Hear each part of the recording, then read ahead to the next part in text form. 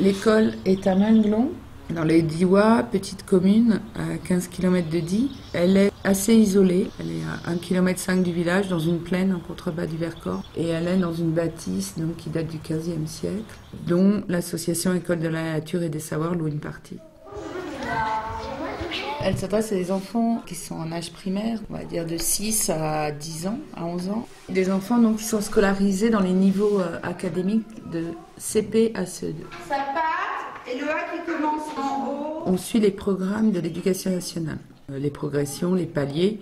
Par niveau académique, un élève de CP doit avoir atteint certains objectifs académiques. Et Caminando s'est engagé à suivre ces programmes. Ce qui change énormément, c'est l'ordre de, de progression.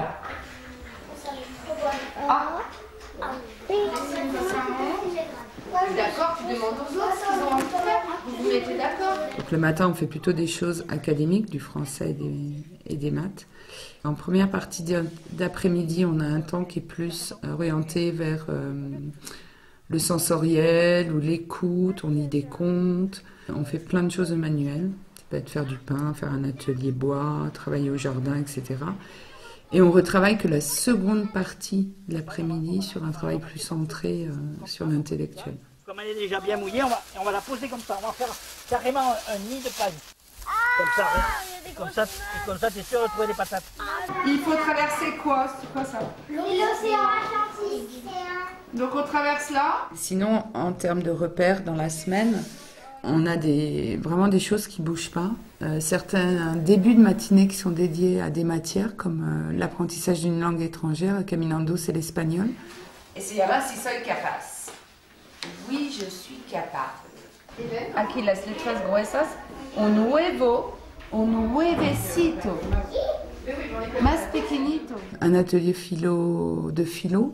Un atelier qu'on appelle Noticias, qui ressemble un peu à un coin neuf à la Freinet. En fin de semaine, un conseil du vivre ensemble aussi, en après-midi, avec des temps de responsabilité ou des temps de jeu. Et en tout cas, on alterne toujours euh, les activités euh, qui font appel aux intelligences multiples et pas seulement une activité qui est centrée sur les maths et le français. On le met en hauteur, pourquoi? Pour pas que les oiseaux, parce que tout ce qu'il faut pas que le chat les mange. Voilà.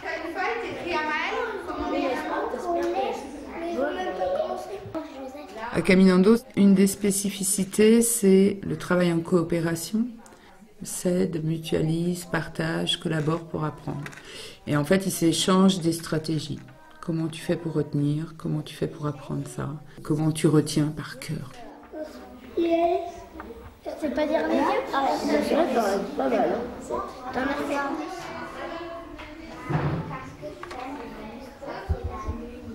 Hop, de là, là, c'est mieux. Ça ressemble déjà plus à une pomme. Ouais. Là? Oui.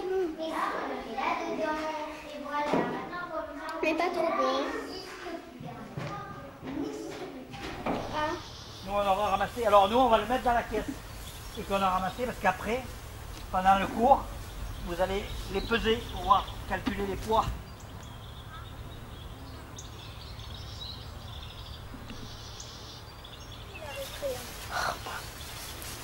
On s'est dit, il faut que le midi, on puisse déjeuner à l'école, mais ça ne peut pas être pris en charge par l'école, puisque les normes, encore une fois, d'hygiène sanitaire sont trop lourdes, et nous, on n'avait pas les moyens aussi d'installer une cuisine collective.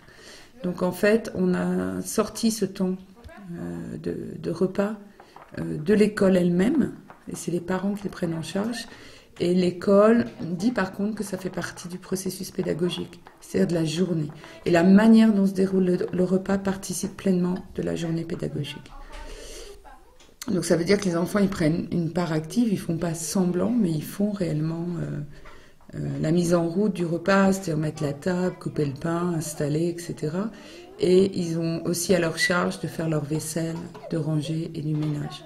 Ce qui me plaît dans cette idée, c'est que euh, on dit Caminando est, ancré dans l'ENS qui, qui est elle-même ancrée dans les lois du vivant, dans l'alliance, le don et l'émergence. Et la cantine euh, à Caminando, elle fonctionne sans échange financier.